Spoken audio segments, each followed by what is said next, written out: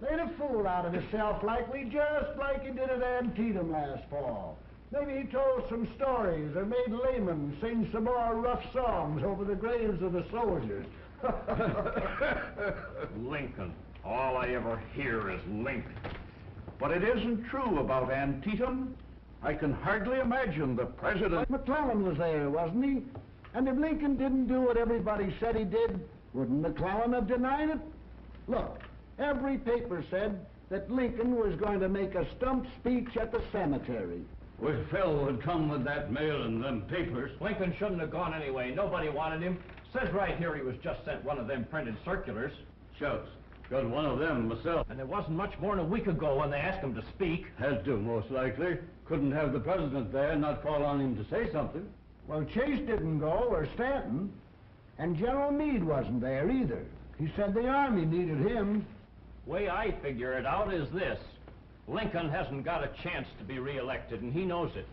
Chase wants to be president. He wasn't going to Gettysburg and be the tail to a kite won't get off the ground. Meade didn't go because the president was going to be there. He's still hot under the collar on account of what President wrote him for letting Lee get away across the Potomac after the battle. There are a lot of people who think the president was right. The war might have been ended back there in July if Meade had followed Lee from Gettysburg. The Potomac was flooded, and Meade could have captured his whole army instead of allowing him 11 days to escape, and then claiming he had driven the invader from our soil. The president was angry, and properly, I think. If we're fighting to preserve the Union, then the whole country is our soil. Anyway, it was Meade who won the battle, wasn't it? And what right did Lincoln have to say that if he'd gone up there, he could have whipped Lee himself? That's right. First, he wants to be a general and fight all the battles. And then he went to Gettysburg, like I said, to make a fool out of himself. If there's a wedding, Lincoln wants to be the bride. If there's a funeral, he wants to be the corpse. this man, Everett, is a old rater, from what I hear. And mark my words, he must have made Lincoln look as roughless as a rebel shin plaster. It's hardly fair to expect Lincoln to have competed with Edward Everett. Everett was the orator of the day, while Lincoln, so the papers say, was just to give a few dedicatory remarks. Everett is a great scholar. He's a noted Boston minister. He's been president of Harvard, governor of Massachusetts, United States senator. Yes, an ambassador to England and secretary of state. Lincoln taught himself. Darn poor teacher, I'd say. I've never said Lincoln was a great man. Maybe he isn't. But he's come a long way. By the light of a pine knot, with a shingle for a blackboard, charcoal for a pencil, and a jackknife for an eraser. He taught himself to read and write and figure. And now he's president. But he won't be long. He's dead as a cock in a pit. Listen to this.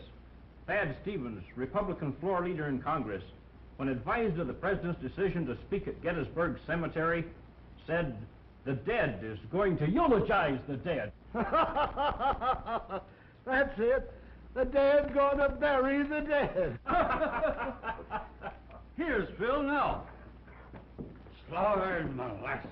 Hold your shirt on. You ain't even got the kettle on. Folks will be coming for their letters before you get a chance to read them. Let me have Ed Small's New York Times. Met Phil Steele down at the depot this morning getting the train back to Washington. He was there. Said it wasn't much of a speech. Ought to say here exactly what happened.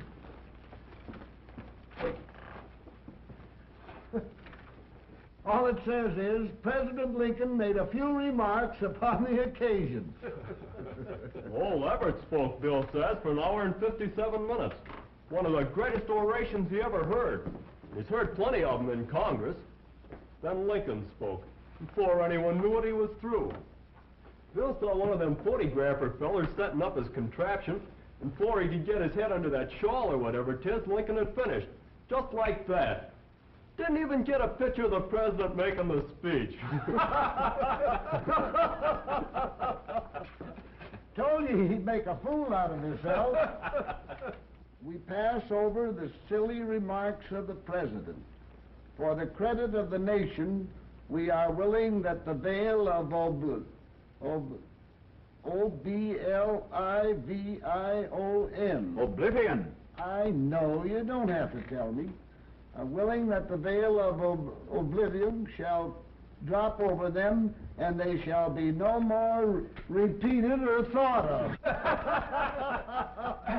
What paper is that? Harrisburg Patriot Union.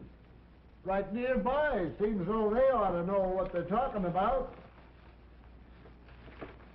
The New York Tribune here says the ceremony was rendered ludicrous by some of the sallies of that poor President Lincoln. Anything more dull and commonplace it would not be easy to produce. I suppose that'll be printed in England now and get them Britishers laughing at us. Guess that speech drove the last nail in old Abe's political coffin. Even Fletcher ain't got much to say now. No, but I'm thinking. What you thinking of? Great speech of your Mr. Lincoln? Four score and seven years. Maybe sounds better to a school teacher than 87 years ago. No, but here's a paper, the Chicago Tribune. They had a reporter there, and he wired this. The dedicatory remarks of President Lincoln will live forever in the annals of men. Let's hear just what happened. Will you read it to us, Mr. Brown? The president arrived by special train on the Baltimore and Ohio Railroad. Get down to it. Never mind. Let's hear the speech. An amusing incident occurred when one of the military bands stopped to play in front of the home of Mr. Wills, where Lincoln was staying. Thinking he was being serenaded, the president came out and acknowledged the compliment, but declined to make a speech. He said, In my position, it is sometimes important that I should not say foolish things. He can't help saying them. Go on, Mr. Brown. The band went next door, where Secretary Seward responded with a graceful speech. The following morning, the procession moved shortly after 10 o'clock from Gettysburg to the cemetery, in charge of Marshal Ward Hill Lamon. There were several bands, including the 2nd United States Artillery Band of Baltimore. President Lincoln rode a horse which seemed much too small for him, and his appearance caused considerable amusement. When the procession reached the cemetery, there was another delay as Edward Everett, the orator of the day, was over a half hour late in arriving. After music by the band, Senator Everett delivered a notable address, which we are pleased to quote herewith. Standing beneath this serene sky, overlooking these broad fields now reposing from the labors of the waning year, the mighty Alleghanies dimly towering before us, the graves of our brethren beneath our feet, it is with hesitation that I raise my poor voice to break the eloquent silence of God and nature.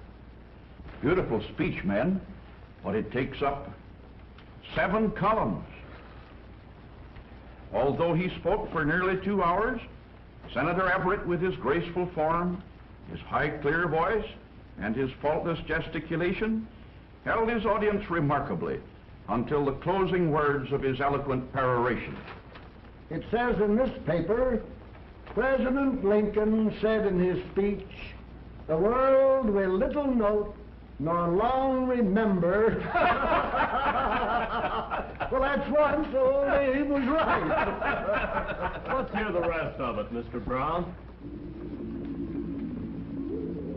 There followed a selection by the military band. At its conclusion, the Honorable Ward Hill Lamon arose and said, Ladies and gentlemen, the President of the United States.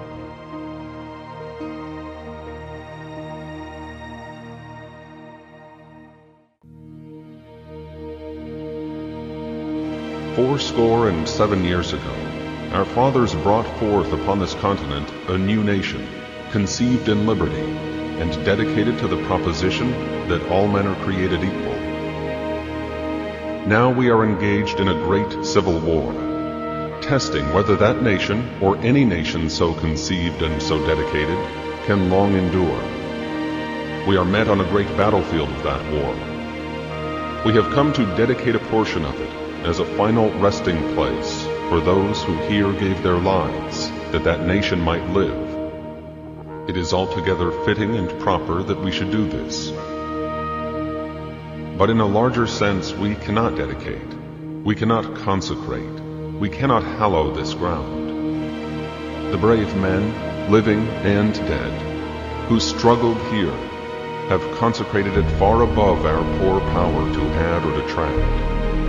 The world will little note nor long remember what we say here, but it can never forget what they did here. It is for us, the living rather, to be dedicated here to the unfinished work which they have thus far so nobly carried on.